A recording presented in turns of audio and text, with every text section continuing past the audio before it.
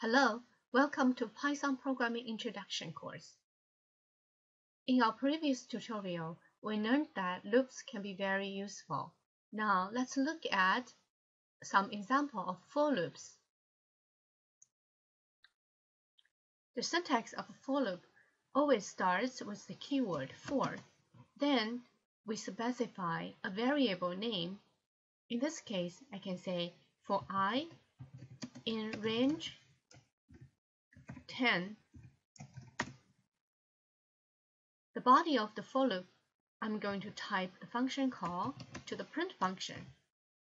And I want it to print out the value of the variable i. The range function will provide a sequence of numbers.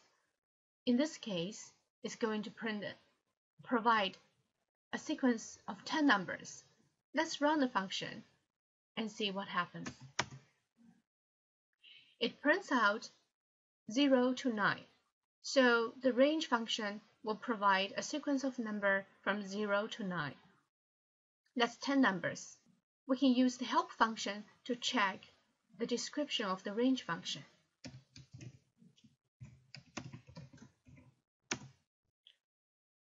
It's a very long description. At this point, we only care about the beginning of the description. There are multiple ways to call the range function.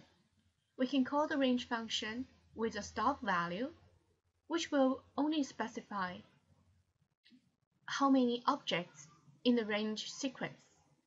Or we can provide a start value, the stop value, and optionally the step, meaning the number we use to increase. Now let's look at another example. This is another for loop for i in range. This time I'm going to specify the starting value and I don't want it to print out from 0. I want it to start from 1 so I can specify 1, 10. Inside the for loop, I'm going to print out the value of variable i. Let's run the for loop it will print out the number 1 to 9 accordingly. Similarly, I can specify the step. So if I don't specify the third argument, which is the step, the step will be the default value, which is 1. I can specify a different number for step. For example, for i in range 110 and I'm going to specify the step as 2 and print the value i. This time it will only print the first five odd numbers. The name of the variable is immaterial. I can name it anyway. For example, I can say for banana in range. 10 print the variable name which is banana. And it will just do the same thing. Alright now we have a better understanding of the for loop and the range function. We can use it combined with turtle to draw some interesting shape now let's open a new file and save it as shapes.py. First, let me import turtle. Then I'm going to use a for loop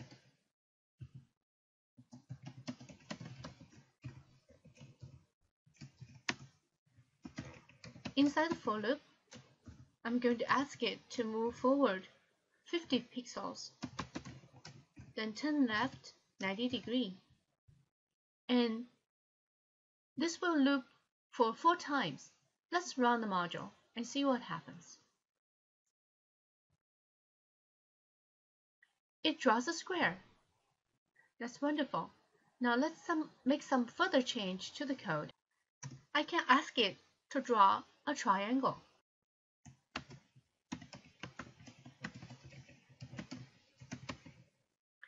This time, I want to draw an equilateral triangle, so I use another for loop.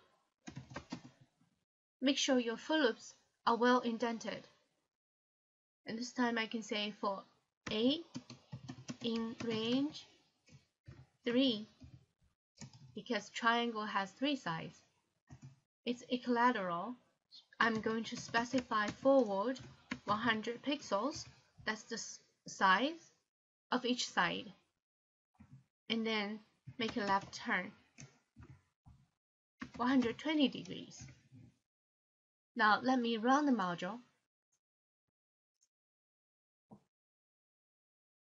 First it draws a square, then an equilateral triangle.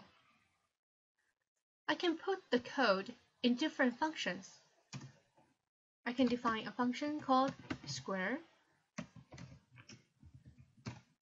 and put this part of code to draw a square inside this function. Make sure all the code are nicely indented. Then I can create another function and make sure the keyword def is aligned at the left edge of your file. And I can call it triangle.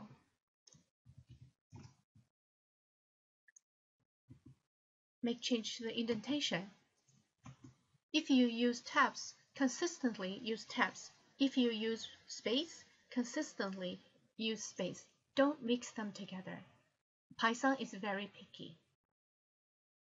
Alright, now let me run my module.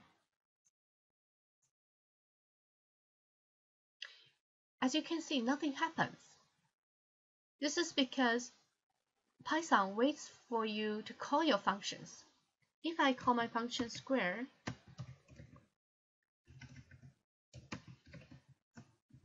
don't forget the parenthesis, press and it draws a square.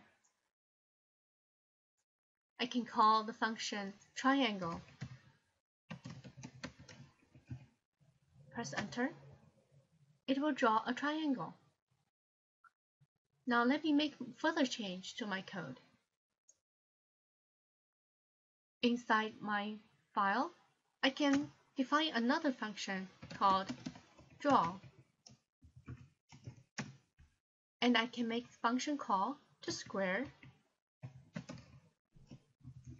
After the draw the square, I want to leave some space and start drawing the triangle. So I'm going to lift my pen up, go forward 100 pixels, and place my pen down so I can start drawing. Now I'm going to call triangle function. Okay, let me run the module.